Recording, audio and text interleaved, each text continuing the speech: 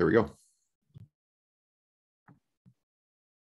All right, welcome to the November 18th Technical Steering Committee call.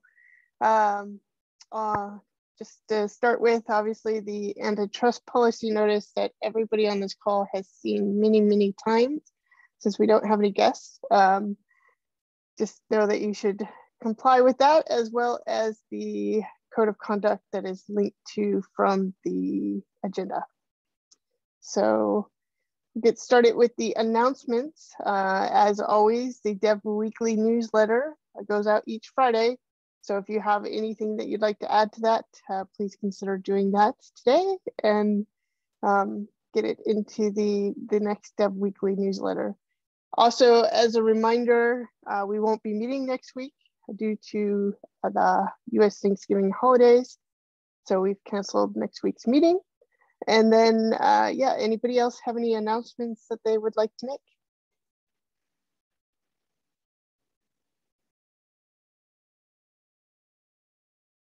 Resounding silence says that nobody else has any announcements they'd like to make.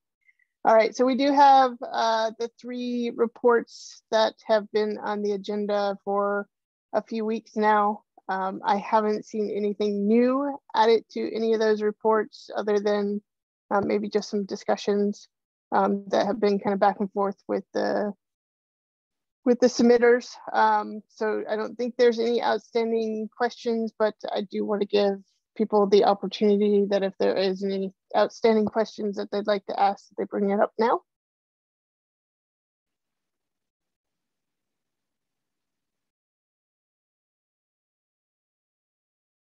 All right, again, resounding silence says that everybody's happy we'll let those three fall off.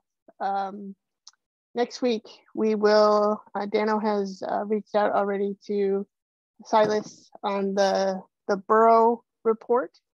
So we will hopefully expect to see that soon.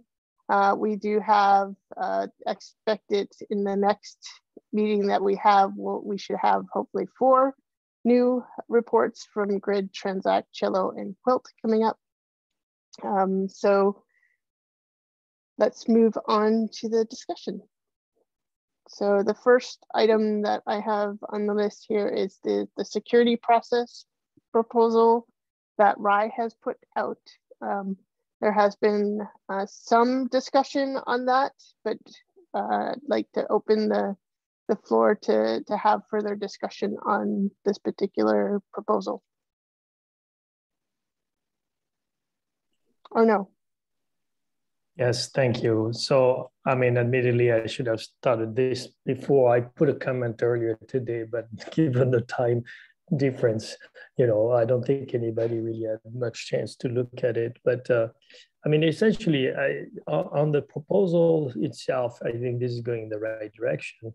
Uh, the question had, had more to do with the current documentation we have. So, right, if you scroll down, I put a link. Well, you can, I've kind of have it there too. But uh, in particular, you know, so we have, it, and from that point of view, I think you know we we can give ourselves some kudos on the fact that it's not like we've never done anything in this regard, and so we actually have documentations with you know with regard to what how we handle security issues and and even a fairly detailed process on how to respond respond to to vulnerability reports but so the proposal doesn't say anything about you know um, the current documentations. Basically, the main change seems to be a we update the security MD file in all the repositories. And um, I think we also need to uh, have a look at the defect response page. So I didn't do a thorough review of it, but I looked at it to a certain degree. And uh, there are certain things that I noticed that, you know, where there's like discrepancy, differences between what's being recommended now and what we have. And just to name a few that I spotted going through kind of side by side or after rereading the guide um, and how they suggest to do this. For instance, they say you should early on negotiate with the reporter on an embargo period because some may not want to even respect any embargo Uh, some will be more tolerant and and and negotiate with you, uh, agree on, you know, giving you some time to try to address the problem before they make it public. And then there are things like when we when we uh, uh, create a CVE, um, the recommendation is to offer the reporter to be named to, so that they can they can be involved in the process of creating the CVE and be given credit if they choose to. And so I think these are like you know small details that I've seen in passing that I think we could definitely you know get more alignment to because I think uh, alignment on because I don't think that you know there is any reason not to follow the recommended way basically. So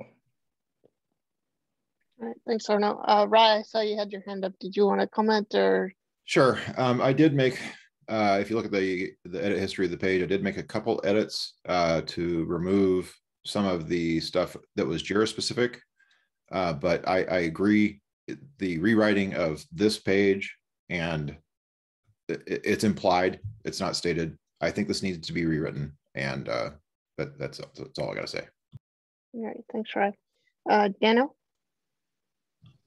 So to um, give some more weight to the need to rewrite some of this, um, let's say hypothetically, um, a maintainer finds a bug that was shipped and that is worthy of a CVE vulnerability.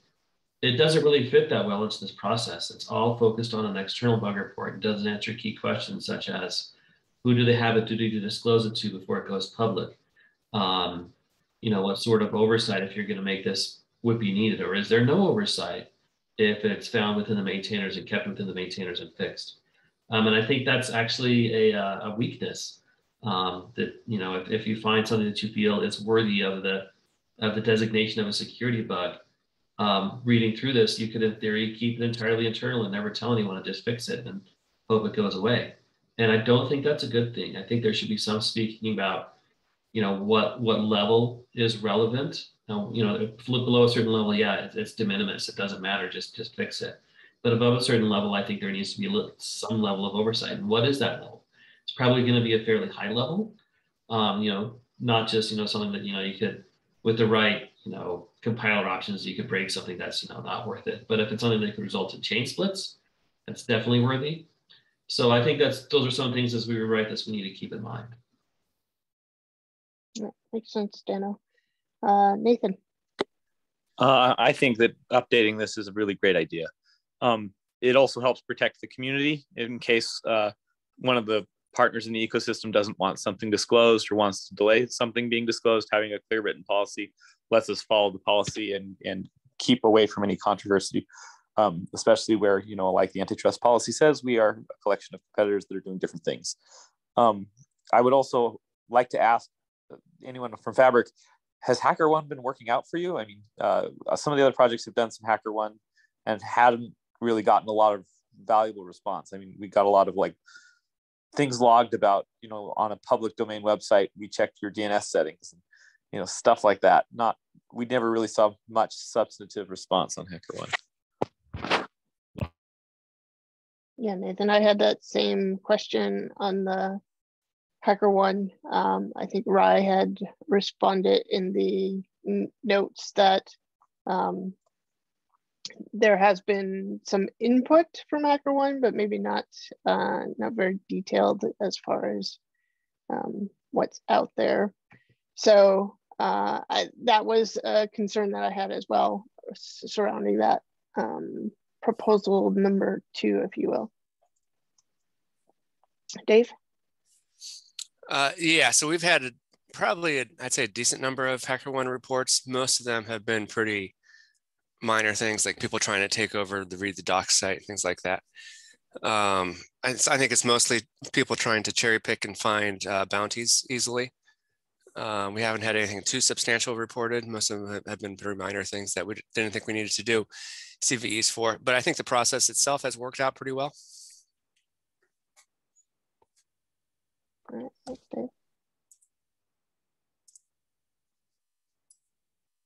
Other other comments or thoughts on on what's been proposed by Ry?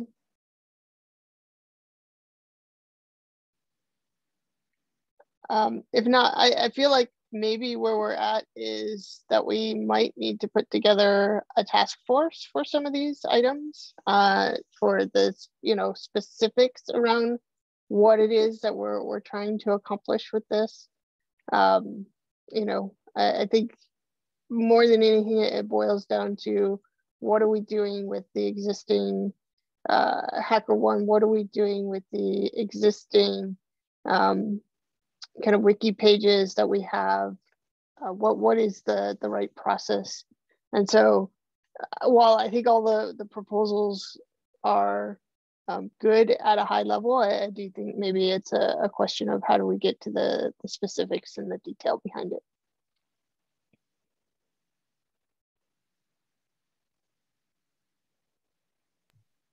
I agree. And uh, I just wanted to show this as this is a recent report from three days ago that came in to, to illustrate uh, David's point that this is this is actually a really good example of a valid report that uh, in the end has no value. I mean, it, it's valid what they're saying, but there's no change in fabric that's needed to to mitigate this. So and if, if anyone on the TSC wants to be added to the HackerOne program as an observer, I will invite you. Just let me know.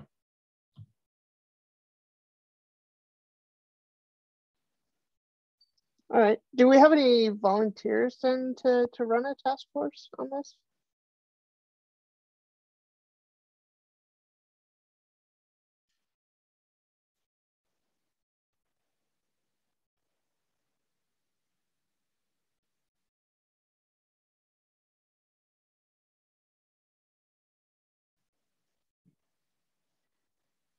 Arun?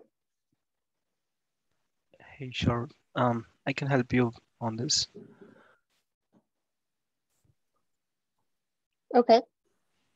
Uh, anybody else interested in participating on the task force? Uh, just let Arun know, I guess, and uh, get something set up to to run through and walk through the specifics. Are there any any kind of comments or, or thoughts that people would like to add as a task force kicks off on this? Are there any concerns with the direction that this is headed? Um, anything that you know people would like to make sure that the task force really takes a look deeper into?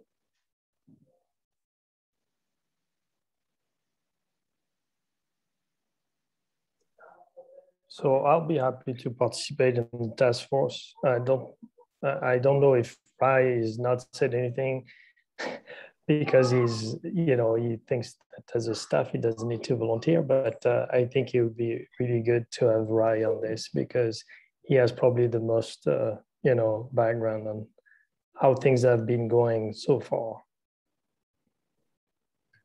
I'll be there. I just, I figured that was uh, that was implied but um, uh, there's there's a, a, ton that's that's not captured here. Uh, that these are issues that have been kicking around the TSC for a long time. Like we have, I think, two or three projects that have people on the security mailing list. Uh, I think that number is far too low. Right now, we have a valid, what appears to me to be a valid uh, report of an issue in a project from HackerOne. Uh, HackerOne only covers Fabric, but I'm not going to just delete the, the response. I've been trying to get someone from that project to engage on HackerOne, and I can't. I, I can't get any response. And then we have another issue on the same project uh, that was filed by a member of the community directly via email that I forwarded to the security list. And trying to get people to engage is like pulling teeth. I, pulling teeth is probably easier, honestly. So I, I, I think that is missing. Is like, what does the TSC want in terms of membership of the security, uh, the security team, and what does the TSC expect? I mean, our outline on Hacker One says we will respond within 72 hours or something, and I think we've missed every one of those deadlines. So, uh, Nathan. I think that all sounds like well within the remit of what needs to be addressed. I think refreshing the security mailing list membership is probably something we have to do much more frequently than we have. And uh, I'm not sure if there's a way we can measure some of our response times. It, it feels like we have a few different places where we tell people response times are important on responding to issues, on responding to emails, and other things. Um, I'm not sure the current LF analytics lets us measure that sort of a thing, but that, that that's something that we might be able to to um, help us know when we need to trigger, you know, adding or changing membership on some of these um, uh, committees. Arnaud? Yeah, so I, I think in terms of you know engagement from the projects, we've got to be able to say, look, at least for a project that I've graduated, you must have one of your maintainers on this list on point, you know, ready to respond if this concerns your project. I mean, if we can't enforce that, we might as well go play something else. I mean, I know the TSC doesn't have much power in practice, but this seems to be and and and for those who are not quite up to date on this, and maybe I'm being more sensitive, admittedly, because I'm now engaged in a in a peer project to the Hyperledger Linux Foundation called the Open SSF, which is where this guideline came from. And but the issue of you know uh, security and vulnerabilities regarding open source is becoming a major topic of discussion in the industry and around the world. Governments are taking a very serious look at this. So we've got to do our part.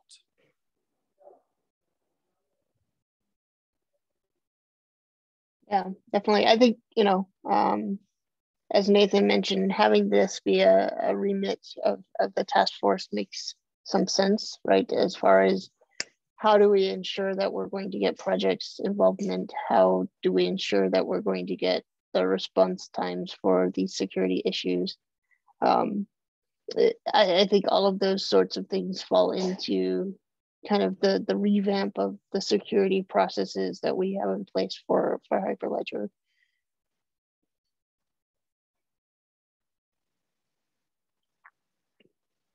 All right, Ray, I see you brought this up uh, this was just FYI for us as far as the all-time medium time to response, medium time to triage, that sort of thing.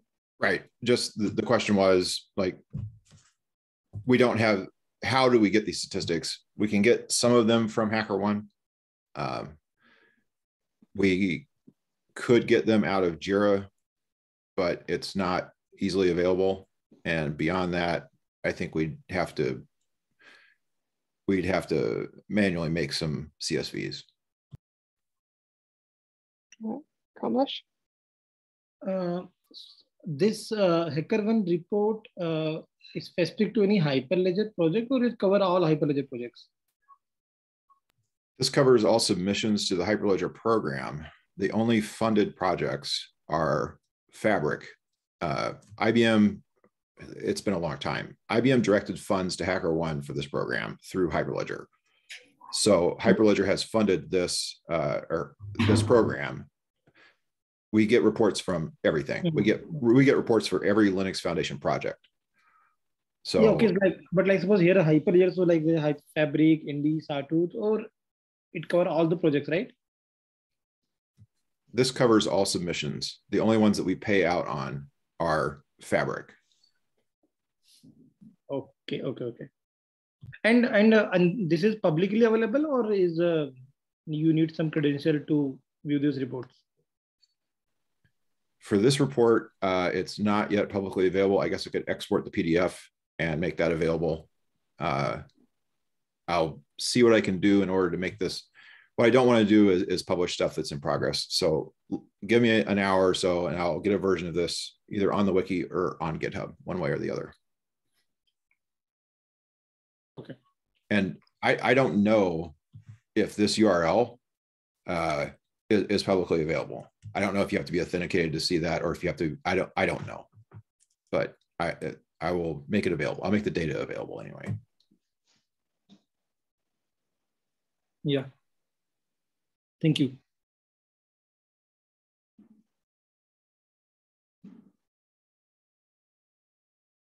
All right. Uh, any any further discussion on this before we move on to the next topic?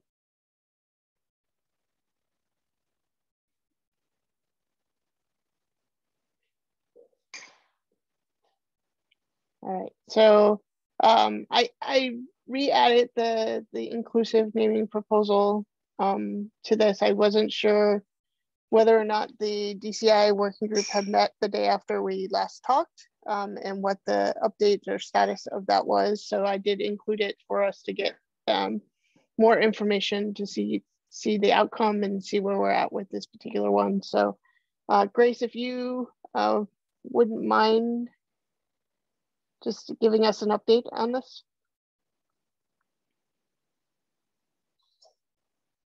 Grace didn't know she was going to be called on, so she might be looking for her mute button.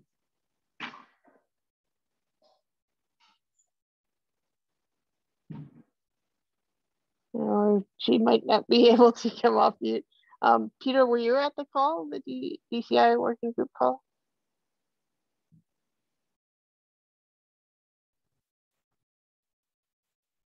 I was not at the last one.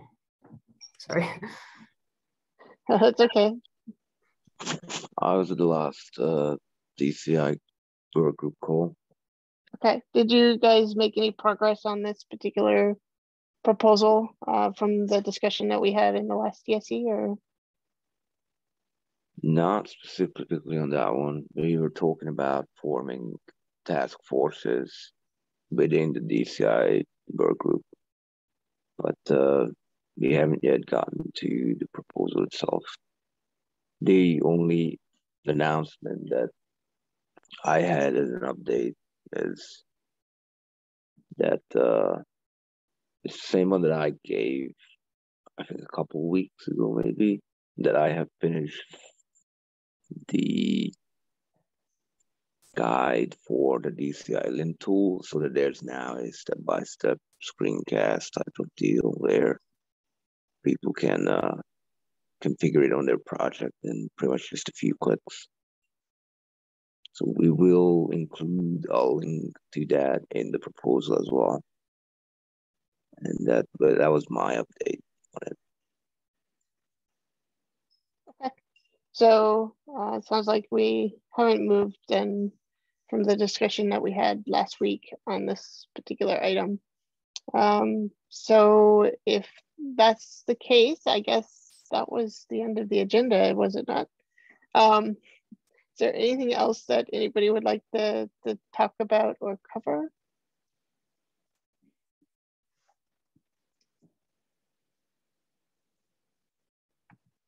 So at the risk of sounding a bit obsessed with security now, um, I just wanted to raise attention uh, to another tool or another project that's uh, being led by the uh, OSSF. And uh, it's called Scorecard. And they basically have, are working on developing a tool that allows, that, that provides a, a way to scan uh, repositories. And with a whole bunch of different heuristics, they are trying to assess the level of, I mean, the risk uh, you know, um, for vulnerabilities into a repo. And um, it's an interesting tool that is very much in the works. But uh, I encourage people to have a look and uh, try it out against their repo. I started doing that and I actually found a bug completely unrelated, but it was interesting nevertheless. Uh, we had a we had a shell script that had a, a syntax error in it, and and that the program found out. Uh, but uh, it's not really designed for this. It just it just you know showed up in the report. And uh, in any case, I think this is the kind of tool that we will be called to use more and more to again improve the security overall of open source uh, projects. And so I encourage people to have a look. It's called Scorecard. It's a small program there are different, uh, it comes in different forms. Uh, it's a Go project, Golang. So you can just grab the, the source code and compile it, but also there are different binaries available. It comes as a Docker container. And it's a pretty simple uh, setup. It just basically, you can run it locally in a machine, just give it the uh, URL of the GitHub repo, and it will just spit out a, pro, a, a report fairly quickly. And it's again, you know, it's it's by no means perfect. Nobody claims that it is, but they are working on trying to improve it over time. And it's better than nothing. And they felt like, well, we've got to start somewhere, so let's do it. So, all right, maybe maybe so add a link to uh, maybe add a link to the TSC chat on that particular sure um, tool so that people can take a look at it. Yeah, yeah, absolutely. I'll happy. I'll be happy to do that. All right, thanks. And then was that Artem that was gonna speak? Yeah, I was just curious, uh, which language does this uh, tool support? So it's only for, is it only for the Golang or it could be anything? No, no, no, no. So they, they are trying to cover as many languages as possible. Uh, it does uh, uh things like Python and then Java and C++. And, and again, I mean, it's very much work in progress. So they are adding as we speak, right? More and more support for all sorts of things. Uh, I'll put the I'll put the link to the project in the TSC chat, and you can start looking at it and get a sense of what it does. Okay. And it gives a score. That's interesting. It's not just black and uh, or you know yeah or nay. It's it actually tries to give a score with regard to different types types of tests that they run and so it gives you a level of you know uh, confidence with regard to how good or bad you are doing and i i i'll be honest and transparent when i ran it against the fabric uh, project it gave us a score of less than five over ten it was four point something which i'm like okay i hope we can improve because that doesn't look too good All right, thanks, Arnaud. Um, yeah, and then one thing that I thought about was the um, not related to security, but just a, an update on the the task force for the chat. Um, we did have our first meeting yesterday. Uh, it was quite uh, quite a good meeting where we talked about kind of requirements that people have for a chat system we talked about things that we think are currently missing from our, our chat system. We talked about things that are good with our chat system. Um, so encourage anyone who has some thoughts on you know things they like about what we currently have, things they don't like about what we currently have with Rocket Chat to, to let the task force know. Um, there is a wiki page that has been created to, to start to capture that information. Um, but you know, if there's if there's the opportunity that you have to to be to discuss this with other people in the community and, and get their feedback as well, um, please do that. I think the, the task force is going to try and come to some of the, the project meetings and, and have a conversation with, with people around what it is that they, they like, what it is they don't like. So um, thanks, Ry, for bringing the, the wiki page up. Um, this is the wiki page that uh, is kind of the start of the discussion uh, we really focused in uh, not on question zero, but really on question nine uh, with the, the requirements um, that, that we think should exist and kind of who the audiences are for the, the different sorts of um, people who come to, to the chat. Uh, so again, if you have any thoughts or would like to add to this, this task force, we are meeting again two weeks from yesterday.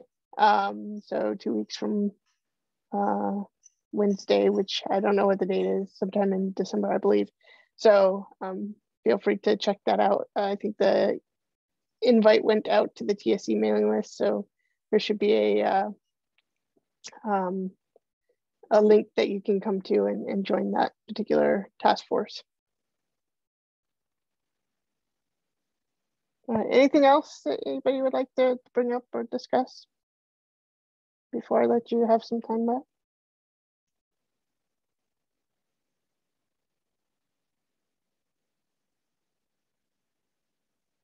a very quiet group today.